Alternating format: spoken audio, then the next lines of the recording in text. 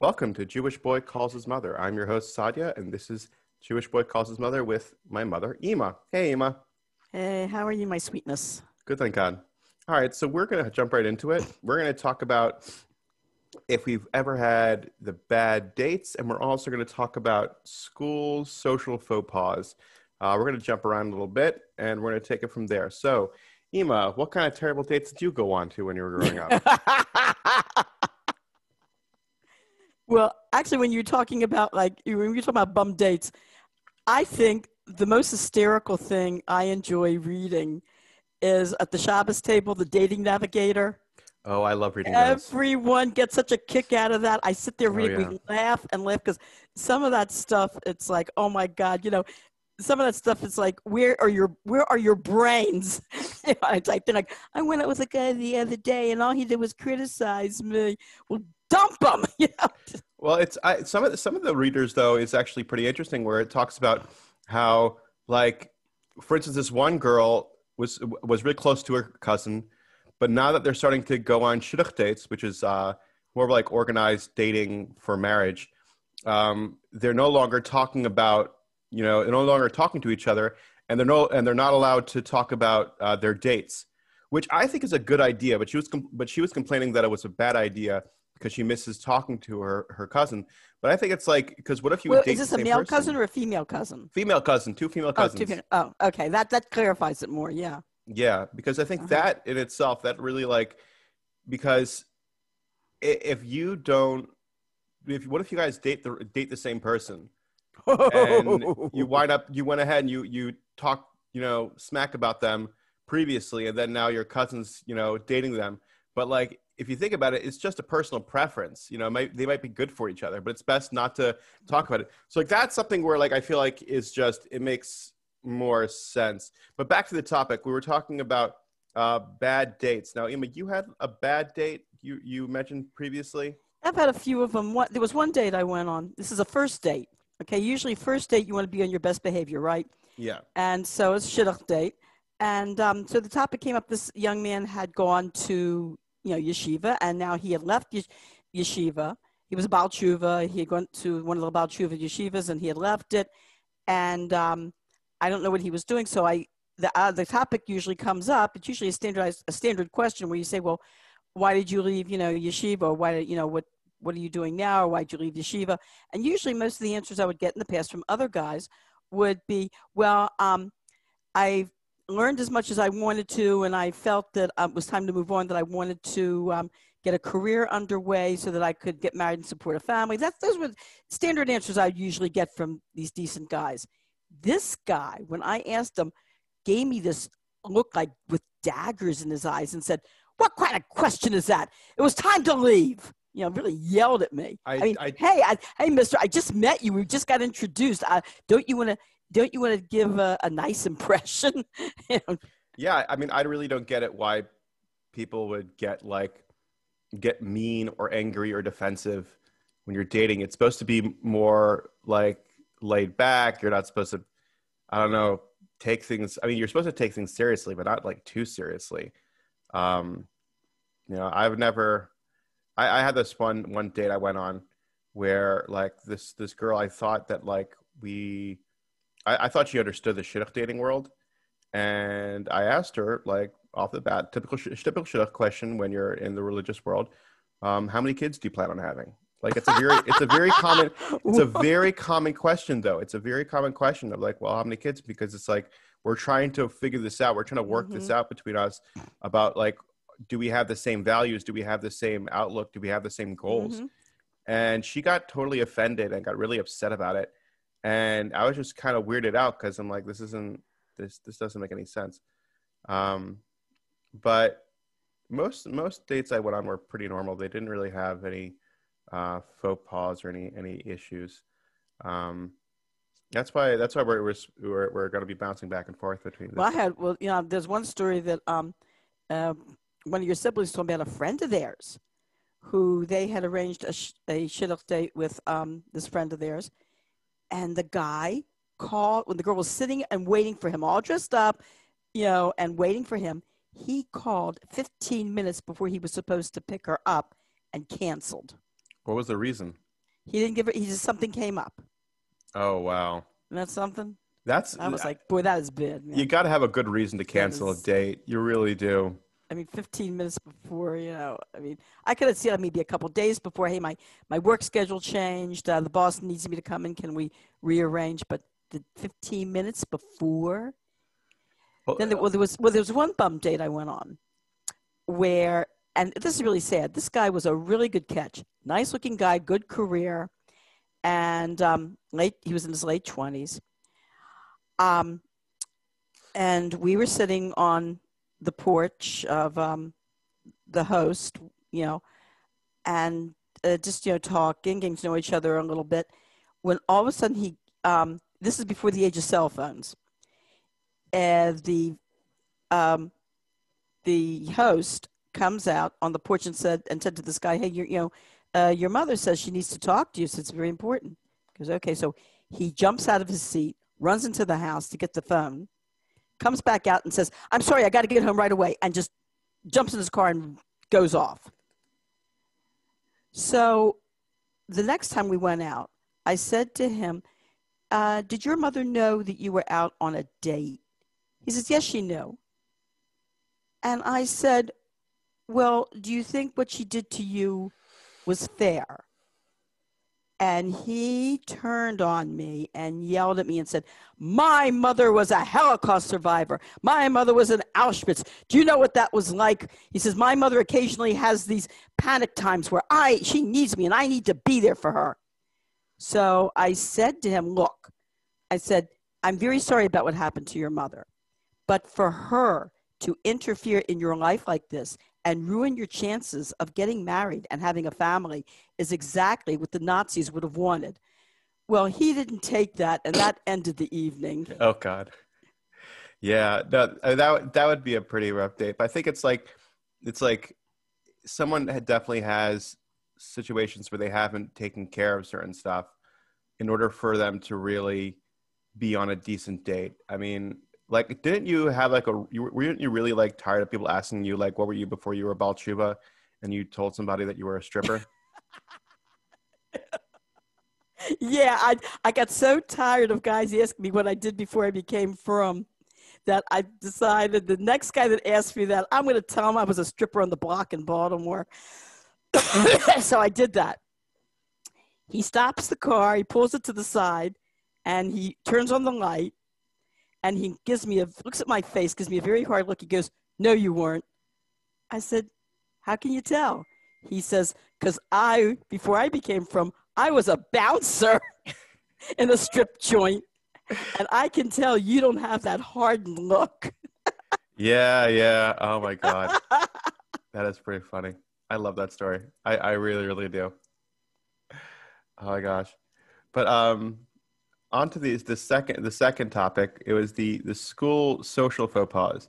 Now I know in my experience um, with bar mitzvahs that yeah, they're expensive. So it's very hard to have this thing where you have to like buy where you have to set up the whole bar mitzvah for the entire school, the entire grade, or or the whole bar mitzvah is usually for the entire class, um, or just for your friends.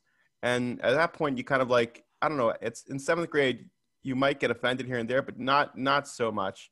But the other thing is, is that you had to go ahead and buy gifts for everyone, and they changed it up to being that everybody in the in, in the grade, everyone chips in, I think ten dollars, and then there's like a grade gift that each kid gets um, because of all the money that's that's been pulled for everyone else. Mhm. But What, you would, what did you what did you think of that idea? Did you think it was a good idea? I mean, I understand it now. I thought it was stupid back then. I really liked individualism and stuff in the sense where it's mm-hmm. like you have a bar mitzvah, you know, and then you have the bar mitzvah party, and then everybody gives you gifts. Because if you if you just break it down to like 25 people only give you one gift altogether, that's a certain amount of gifts or checks or money that like won't come to you. You know, it's like Yeah, just I was looking at like statistically wise. I'm like, I'm like, that's my investment money. I I can't I can't you know afford like afford to lose all that. So I didn't Well, like it. Well, what I like was well, when in your day, and your school, by the way, really, I have give I have to give to Talmudical Academy a lot of credit. they are the type of school that they do learn from their mistakes and they do and they do correct them. Um, in your day, there was no real coordination because remember, I feel badly about your bar mitzvah that there was another bar mitzvah right around the same time as yours, and so a lot of the kids came and had just come and wish you mazel tov and go right out to the other bar mitzvah. Yeah, that was Um, that and I was actually now what they do is um, after then after you after your year, they really learned from that, and they um, told the parents at the beginning of the year they wanted to have everybody um, uh, uh, sign up, uh, go into the office, not go into, but you know, um, tell the office, tell the office what day every bar mitzvah is going to be. And they want to coordinate the bar mitzvahs because if there's any two on the same day, they want to approach the parents about rescheduling a bar mitzvah party for another day so that you have no two that are on the same day, which I Yeah. thought was a very good idea. But they didn't do that in, when you were there. But I think they, I think there might have been so many situations similar to yours that that's what they that's what they decided to do. Well, what happened was was it was actually really bad.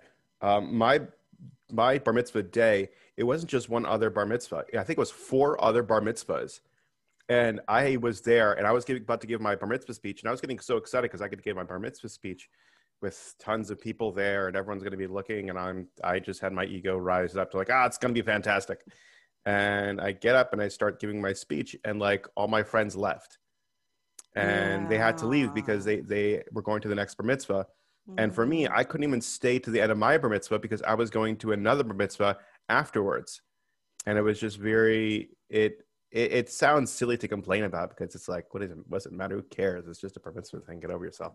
Well, But um, so it, it, when at that we like you told so, social sensitivity it does it it does um it, it's very upsetting to a child it is and it, and it is I mean your bar mitzvah day how many bar mitzvahs are you going to have you know what I mean it's like uh, the, you know this is this very special day it's only going to be a one time shot and of course you want it to be really you know memorable in a positive way well I told you the story of what happened to my father's bar mitzvah oh, how me, disastrous that was. That Yeah. was sad. Yeah, I'll tell it to the audience. Um, my father was born in 1918, and his bar mitzvah was had to be, I guess it was like 1932, 30. It was yeah, about I guess, it would be like 1930, 1932, height of the depression. And so when what they the way they had bar mitzvahs um, was you had of course you know the shul, and then very few, no shuls really had social halls in those days or big social halls. So it, the Jewish community would use the social hall that was, I think, in one of the um, local hospitals had a social hall. So use the, Jewish community would use the social hall there. He says, first of all, his father, his father was like, um, well, my, my, my, my grandfather, my father's father changed as he got older. He did become more religious because I remember seeing him going to shul and getting aliyahs. But at that time, I think he was kind of like a little anti-religious, you know, and um, he had to keep the store. I guess he was worried he had to keep the store opened. He uh, because um, uh, you know it was the depression. You know, uh, closing your store and not having money. There was no social services available. Uh, you didn't make the buck. You starved. Serious star starvation. So he kept the store open. So it was my um, it was his grandfather. It was my uh, it was his father's father who took care of his bar mitzvah and was there for him and took care of all the arrangements. So my father gets called up to read his maftir, and in those days you had you had a lot of uh, Jewish men who were not Americanized, were not Americans at all, and who were raised in yeshivas and had no, I don't know, like you said, sensitivity. Had no sensitivity for say an American kid. So my father would start to read his maftir, and the guys didn't like uh, the men that were that were around him didn't like the pace. They felt it was too slow, so they were nudging him to speed up. So my father tried to read it faster and had to stop and catch a breath. And when he stopped to catch the breath, the men thought that he didn't know it and started to read it on without him. Then at the end of the whole thing, it was time for him to close the Aron Hakodesh to pull the curtain. I mean, I felt so badly for my father. I said that this was his honor, this was his day. And the man hands my father two cords and talks to him in Yiddish. My father didn't know that much Yiddish, very little. He's an American kid. So he took one of the cords and he pulled it. And instead of closing the curtain, it opened it up even more. So then he pulled the other, the other cord. And again, it opened it up even more. It was probably, probably one of these like tricky things where you probably had to take both cords and like coordinate them or something. So the man who was the um, the gabbai just lost his temper with my father, grabs the cords out of his hands, and shuts the Aron Kodesh himself. And I just I think I keep thinking about that guy who did that to my father. And I thought that I cannot imagine good karma, any type of good karma coming down for that guy after taking the way, after embarrassing a bar mitzvah boy in public, taking away his honor, and it's something that should have been, you know, and that should have honored him, and just taking that away from him. Then, uh, when they went for the reception uh, at the social hall in this hospital, the nurse, the head nurse, who my, I have my suspicions that she probably was anti-Semitic, came into the social hall and started to yell at my great grandfather about people leaving crumbs all over the place. And my great grandfather was yelling back at her, and people got embarrassed and left the hall. Wow. I see. I always think that with bar mitzvahs, each bar mitzvah kid like goes through goes through the challenge of becoming a man because it's like the the it's so I spoke to other people about their bar mitzvahs and nobody really seems to have a, had a good bar mitzvah story in the sense where they would they actually enjoyed it. There's always a problem, um, and but I think it's kind of funny where it's like it's like you kind of have to do something where it's not you're you're no longer a kid anymore. The the, the kid part kind of doesn't exist. You know, with me, it was more of like I had to accept the fact that like my, my friends aren't always going to be there when I have something to say. Um, but I know uh, Yehuda, my older brother, he, he had to shovel the snow um, on his bar mitzvah when it was like when it was just a complete downpour, and that's what he had to do. Mm-hmm. And that's mm-hmm. kind of the thing where it's like like it might have been your, your it might have been your your festivity, but you have a job to do. And I think that's it's kind of funny where it's like bar mitzvahs kind of have that situation where it's like it's part of growing up um, and accepting life for what it is. And that's just something I was always kind of wondered and noticed when it comes to uh, bar mitzvah stories. So if anybody is a listener who's had a bar mitzvah, terrible bar mitzvah story, please tell me. I'd be very curious to know. It's a pity this um, isn't a talk show forum. You know, I'm sure they, I'm sure the folks would be ringing off the hook with people with their individual stories. But the miracle about Yehuda's bar mitzvah, your older brother, was that that day there was a snowstorm, and we didn't know what to do we were really concerned. I mean, we couldn't really cancel. The hall was rented. Um, the cater, you know, every we had already hired the um, the you know, the caterer, the person. We we could we just couldn't cancel, so we decided to continue. And it was like just and so Yehuda. Yehuda went out there with uh, some friend, your father, and some of his friends, and they um, totally had to with ice, uh, with uh, uh, with salt, and with shovels, and uh, you know break up the ice in the parking lot. Would you believe an hour before the bar mitzvah, the sun came out, the temperature shot all the way up to something like about the high 50s, low 60s, and it all melted. Oh wow! It was it was a nes. It was unbelievable. Yeah, that's awesome. But what were you telling me uh, beforehand about um, this other social faux pas when you're talking about you had Valentine's Day when you were in school? Oh, that was disastrous. Yeah. Um, Valentine's Day, I don't know. I, I, I don't know why the teachers did this. I don't know what years ago in the 50s and before the 50s, for some reason, when it came to, like you said, social sensitivities, uh, the teachers and the parents just weren't there. I don't know what it was, but we used, I went to, like I said, you know, the public school. And about a few weeks before Valentine's Day, uh, for an art project, the teachers would pass out uh, paper bags, and you could cut and paste and color and decorate them, put your name on them. And then at the base of the blackboard, the base of the blackboard was always wooden. So they would take thumbtacks and they would thumbtack each paper bag up to the in front of the blackboard. So as the weeks went on, you could see very clear you the purpose of the bags was to put valentines in the bags you know for the kids in the class each you know to exchange valentines. Each kids would you know my parents many of the parents would buy their kids these uh, booklets where there were these pretty valentines and you would cut them out and put them in the envelopes that came with the with the booklet and then you would put the child's name on it that you wanted to give it to and you would put it in their bag. Well as the weeks went on you could very very clearly see who the popular kids were and who the social outcasts were because the popular kids by valentine's day their bags would be totally bulging. And the kids who weren't so popular they would have like just a like i said one or two or fewer valentines. And Oh. to me that was you know ah come on you know you didn't have to that's that's almost like public embarrassment Yeah, probably something was. like that and i told you about that boy oh, you know, uh, yeah in second grade oh yeah, when you gave him that giant there was a uh, bo- Valentine's Day. yeah i had a crush on him so i gave him this real nice big beautiful valentine and he ran with it ripped it up spat on it and threw it away i mean i think to myself where was the teacher I don't I mean, think the teacher cared. I mean, I yeah, the teacher really should have been watching, should have been more observant, and seeing something like that, should have come over, grabbed the boy, and said, "Hey, you don't do this to somebody." And she really had she had, like I said, any social sense, she should have brought him over and forced him to apologize. I don't. I don't get it.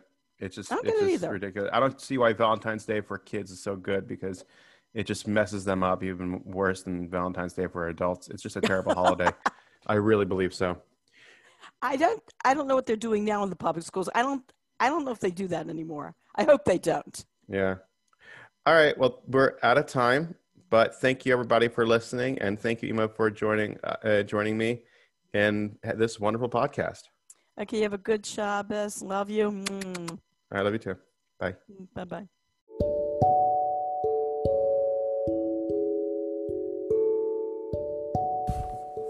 Hi, thank you for listening. Be sure to subscribe and share. I really appreciate it, and my mother does as well.